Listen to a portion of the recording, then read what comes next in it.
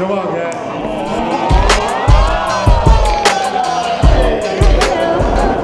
Leah's brought about to hit the stage here at the Bowling Greens. Beautiful venue. Um, this is